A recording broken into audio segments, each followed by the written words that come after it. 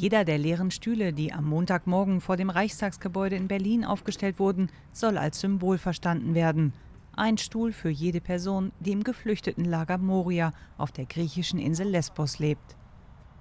Die Menschen ähm, leben da unter widrigsten Bedingungen, sind nicht in der Lage, sich zu isolieren, ähm, Hygienemaßnahmen einzuhalten und mit der Aktion fordern wir die sofortige Evakuierung der Lager. Ähm, erst vergangene Woche wurden die ersten Covid-19-Fälle bestätigt und die Evakuierung ist so dringend wie nie. So eine Sprecherin der Seenotrettungsorganisation Sea-Watch, die als eine von mehreren Organisationen an den Protestaktionen in Berlin beteiligt ist. In der vergangenen Woche hatten Vertreter des griechischen Einwanderungsministeriums in dem überfüllten Flüchtlingslager Moria bestätigt, eine 40-jährige Person, die sich um Asyl bemühe, sei positiv getestet worden und befinde sich nun in Isolation. Durch die Aktion soll auf die Aufnahme Geflüchteter auch durch die deutsche Regierung gedrängt werden.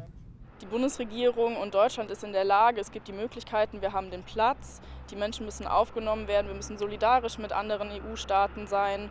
Und ähm, es gibt hunderte Kommunen und Städte und Länder, die die Aufnahme auch bereit sind durchzuführen, die Menschen in ihren Ländern aufzunehmen und die Bundesregierung muss dem zugeben, zustimmen. Die ebenfalls an der Aktion beteiligte Organisation Seebrücke gibt an, dem Städtebündnis der sicheren Häfen hätten sich in Deutschland mehr als 170 Kommunen angeschlossen. Diese sprechen sich generell für die Aufnahme von aus Seenot geretteten Flüchtlingen aus.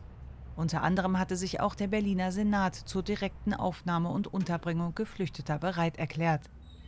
Bundesinnenminister Horst Seehofer stellt sich bisher gegen diesbezügliche kommunale Vorstöße.